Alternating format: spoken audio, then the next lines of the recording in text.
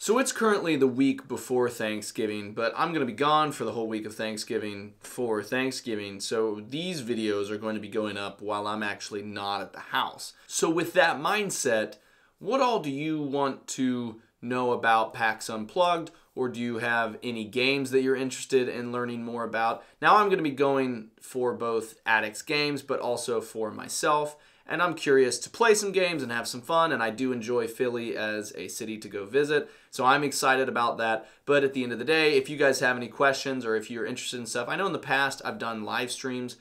We'll see how much I'm able to do that. I would love to do a live stream and just do it with some of the friends that I have developed over the last couple years because I've enjoyed that in the past. But also, I'm like a really forgetful person, and sometimes I forget stuff.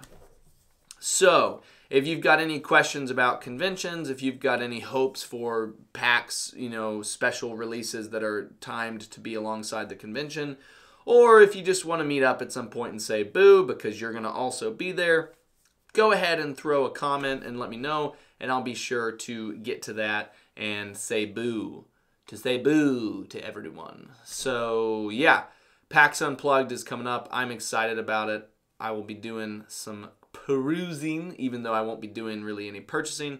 I may bring some games back for some content coverage. We'll see. That's never really an aggressively pursued thing, but sometimes it does happen as I see stuff I'm interested in or as publishers say, hey, do you want to check this one out? And I say yes.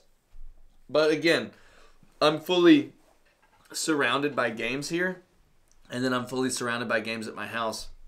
So I need to start playing them because that's necessary. That's necessary. And not necessary in the way that Patches O'Houlihan means necessary, but like necessary in the way that I've got so many games here and I need to play some of them. Yeah, that's about it. All right. Mm, see you next time.